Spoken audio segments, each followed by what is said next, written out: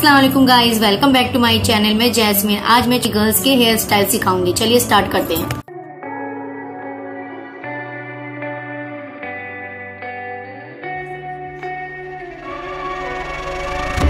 There is a place